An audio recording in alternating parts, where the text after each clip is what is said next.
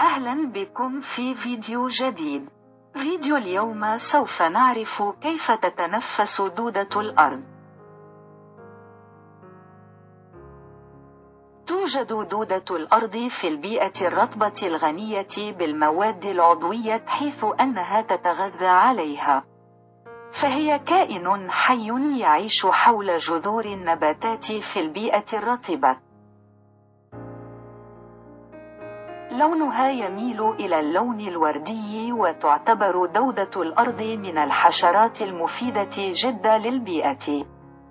يطلق عليها اسم الدودة الحلقية وذلك لأن جسمها يتكون من حلقات يمكن أن يصل عددها إلى 200 حلقة تساعدها على الانبساط والانقباض والزحف والحركة داخل التربة كما أن الحلقة الأخيرة التي توجد في نهاية جسم الدودة تنتهي بالأشواك التي تساعدها على الحفر في التربة.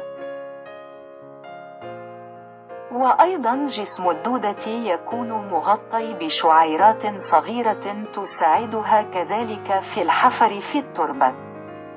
بالرغم من أن ديدان الأرض لا تمتلك عيون إلا أنه لديها مستقبلات للضوء تساعدها في تحديد متى تكون في الظلام أو في الضوء. لا تمتلك ديدان الأرض أذان ولكن جسمها يمكنه أن يستشعر اهتزازات الحيوانات التي تتحرك في مكان قريب منها. ديدان الأرض تمتلك دماغ متصل به أعصاب الجلد والعضلات حيث أنه يمكن لأعصابها اكتشاف الضوء والاهتزازات وبعدها تقوم عضلات جسمها بحركات استجابة لذلك. ولكن كيف تتنفس دودة الأرض؟ بالرغم من أن ديدان الأرض لا تمتلك رئتان ولا أنفا إلا أنها تتنفس الهواء وتخرج ثاني أكسيد الكربون. فهي تتنفس من خلال جلدها حيث يذوب الهواء على مخاط الجلد ولذلك من الضروري أن تبقى الديدان رطبة من أجل التنفس حيث أنها إذا جفت سوف تختنق وتموت.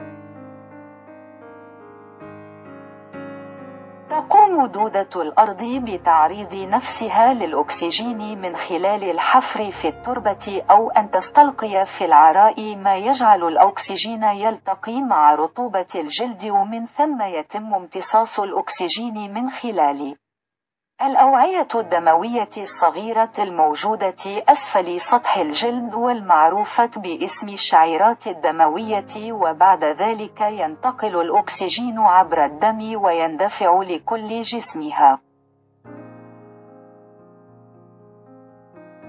تعمل دودة الأرض على تهوية التربة وتحليل المواد العضوية مما يساعد على تحفيز المجتمع الميكروبي في التربة ويؤدي ذلك إلى تحسين إنتاجية النبات والحفاظ على بنية التربة وخصوبتها. ولذلك يطلق عليها اسم مهندسي النظام البيئي.